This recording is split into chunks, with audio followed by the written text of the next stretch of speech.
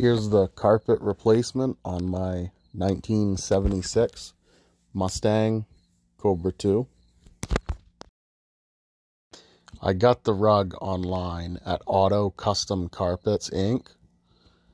Made in the USA, shipped to my door for $175. After I got the old rug out, I chipped away at the factory material cleaned and prepped the floor for new paint. After paint, I laid down new sound deadening and heat resistant material. You can get this stuff on Amazon. Cost about $65 a box, and I used two and a half boxes.